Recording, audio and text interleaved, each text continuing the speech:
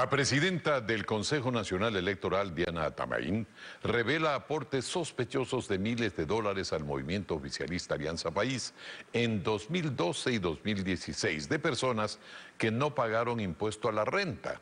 Mientras tanto, el Contralor Pablo Celi informó que realiza una auditoría a la presidencia de la República y a dos prefecturas por presuntos aportes a la campaña del movimiento oficialista. Paul Romero con el informe. Ante la Comisión de Fiscalización de la Asamblea, la presidenta del Consejo Nacional Electoral reveló que en el informe parcial de las cuentas de Alianza País se detectaron movimientos inusuales de aportes económicos y citó algunos ejemplos.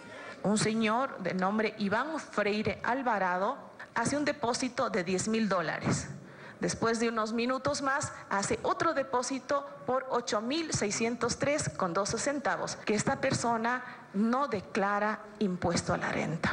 Los aportes de la señora Micaela Leger Alarcón, en un monto total de 12 mil dólares. Tampoco declara impuesto a la renta hasta la fecha.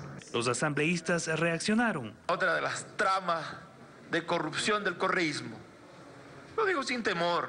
Hay que averiguar cada nombre, hay que identificar direcciones, hay que localizarlos. Exigieron que se investigue para determinar responsabilidades, pero Atamaín les aclaró que ocurrió en 2013 y que transcurrieron los cinco años que determina la ley para reabrir los casos. A la comisión también acudió el contralor Pablo Celi informó que dispuso dos acciones de control a las cuentas de Alianza País y las instituciones involucradas en el presunto aporte ilegal de recursos públicos a las campañas electorales. La Presidencia de la República por el uso de fondos de reconstrucción y a los GATS de Los Ríos y Manabí.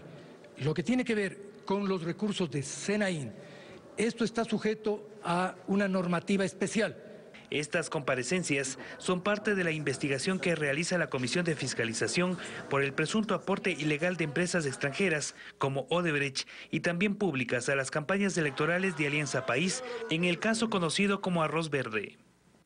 Suscríbete ya y no te pierdas ninguna noticia del Ecuador y el mundo.